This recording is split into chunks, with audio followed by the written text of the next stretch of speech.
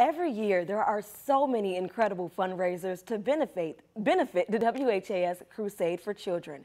This is the 10th year that a special recital is being held to not only share the rich tradition and culture of Indian dance with the community, but also raise money for its favorite charity. Here's a pre preview of what you can see later today.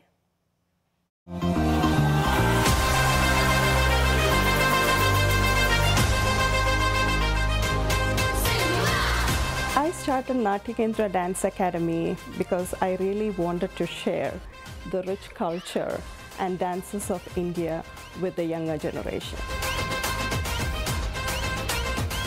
I'm Smita Paili. I'm the founder and director of Natyakendra Dance Academy in Louisville.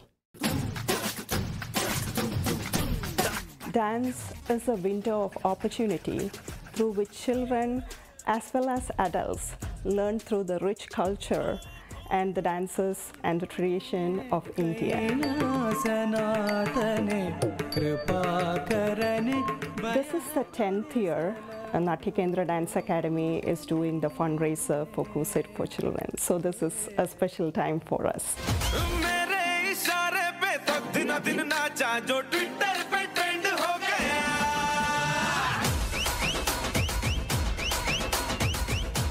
I always wanted to teach my students the concept of giving back to the community.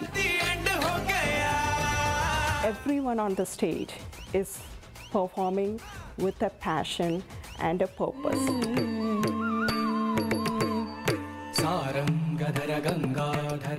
So this is a rare opportunity for the audience to come and watch these performances and also the diversity in art for a great cause. I love doing this. I can guarantee you one thing, whether you may be a dancer or you have never learned dancing, I promise you everyone in this auditorium will be leaving with a feeling of gratitude and a feeling of fulfillment and happiness. I love that. Well, if you want to see that dance recital, it's today at the Ursuline Arts Center at 3113 Lexington Road. Performances will run from 3.30 to 5.30 p.m. and proceeds go to support the WHAS Crusade for Children.